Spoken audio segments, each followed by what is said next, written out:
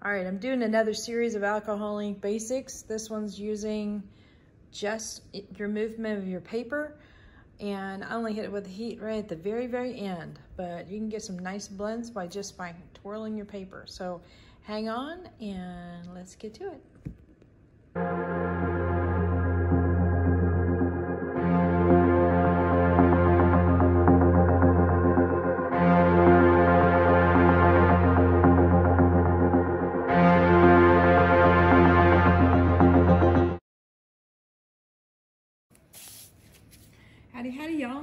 Clara Lawrence.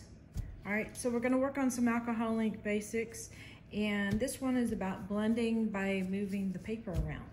So we can do this with or without heat. I've got my trusty little dry, hand dryer handy. But uh, what I'm gonna do is I'm gonna create a little bit of puddle with just a little bit of alcohol. A uh, little bit of gold. And that's a gold solution that's submerged with alcohol and then a little bit of green. And what I'm gonna do here is kind of cup it, the paper in, and then just slowly start moving it around.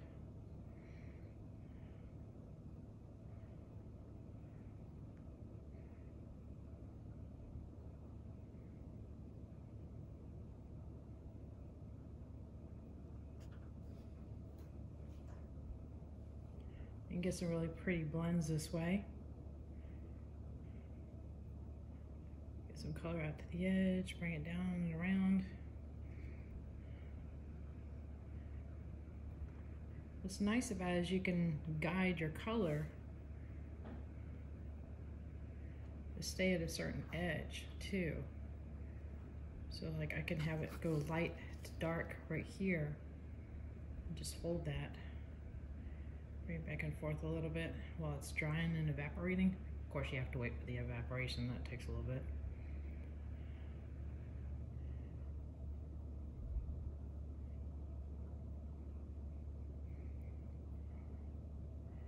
Well, the other neat thing about it is you can also get a two-toned type of a blend.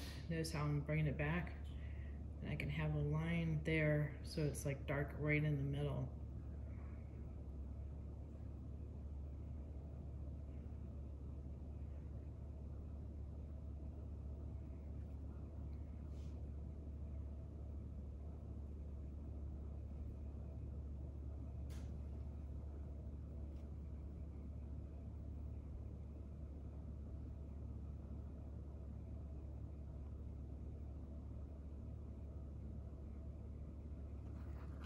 Keep it right there.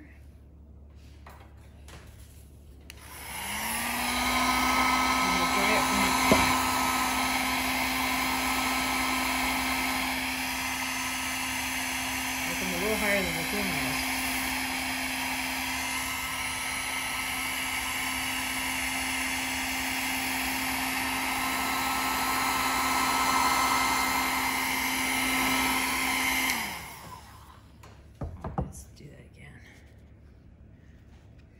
This time I'm gonna kind of go in this direction. You may get some resistance where it picks up some of the gold. So we'll have to see what happens there.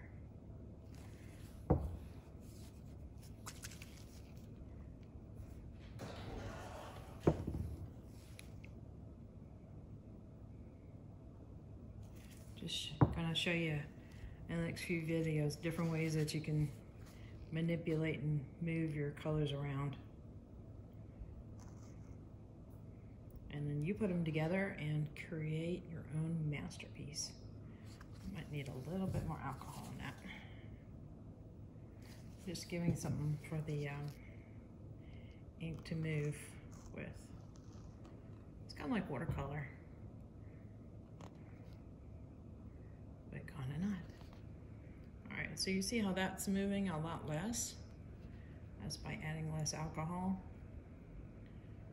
and you'll get really dark lines. And all you need to do if you want to rid that, add some more alcohol for it to move. Go back over your lines, reactivate those.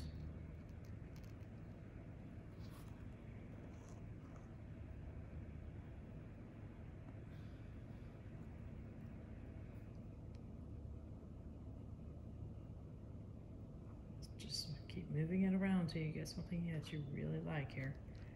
She's also got this thing curved and cupped and come on, it's like close up that one little hole. Okay, fine. Sometimes it needs help.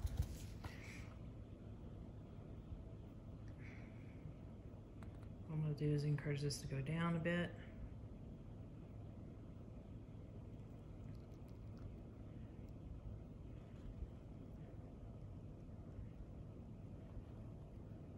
Back up.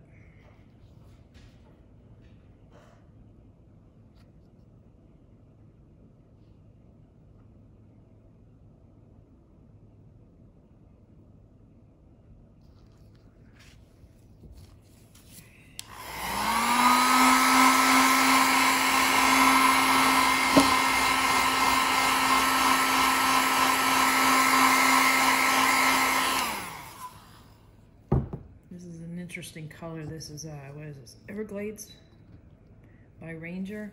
And you see it's got some yellow bits that it leaves around, almost kind of an. I'm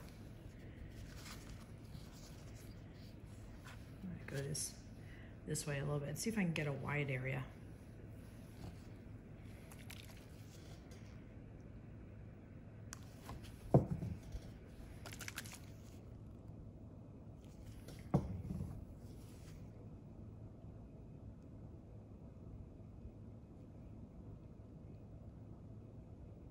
It's hard sometimes just to add a little bit of ink. I get too excited and I want to just go for it. All right, so kind of swooshing that around, incorporating the gold and the alcohol. See if I can create a shape I like.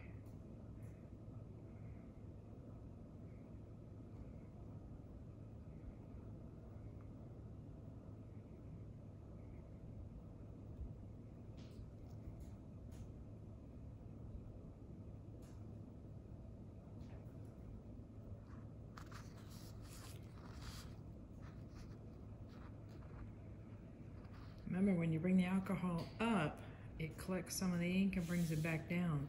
So you can continue to lighten an area. It's harder when it's really saturated with colors. But it can happen.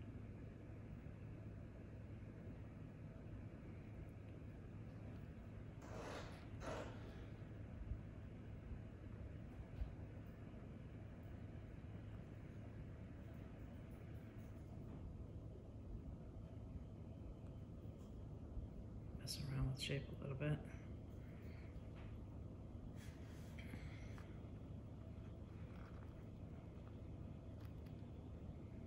There we go, now it's starting to evaporate.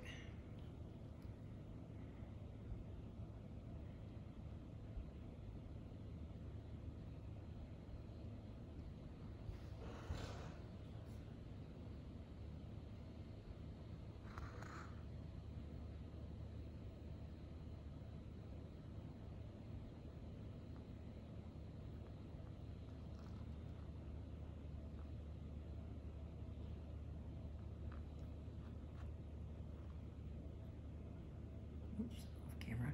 Sorry. Got you really zoomed in. Alright. Got this really curved here, so I'm to see if I can get it to collect in the middle a little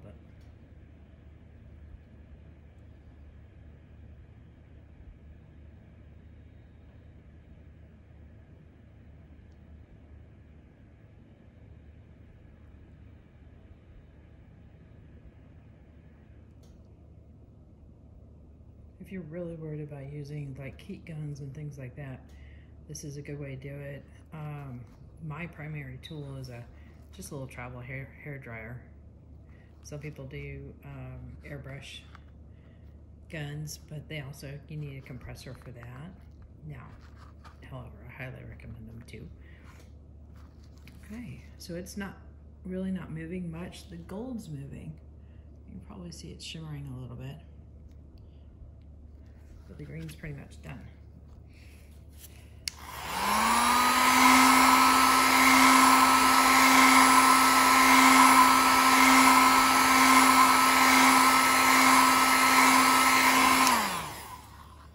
All right, let me bring you down here. All right, right, so this is just with movement only, and I hit with the heat right at the very end.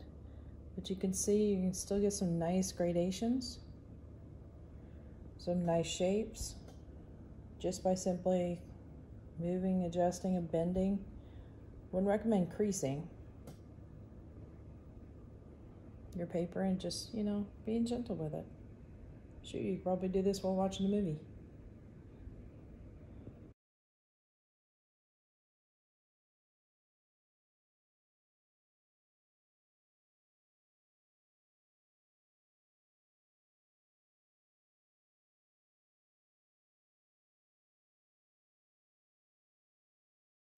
All right, so hit that like button, hit the subscribe button, but definitely hit the bell to get notified next time I put a video up. Later, y'all.